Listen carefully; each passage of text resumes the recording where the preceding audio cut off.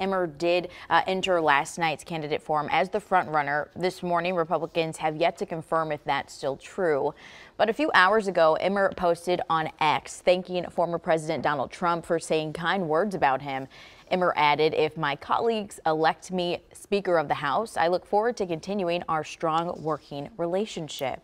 Now, Emmer may have a slight advantage in this because before he was the majority whip, he was the head of the National Republican Congressional Committee, and he was in charge of recruiting candidates to run for Congress and raising money for them. So he's made quite a few friends.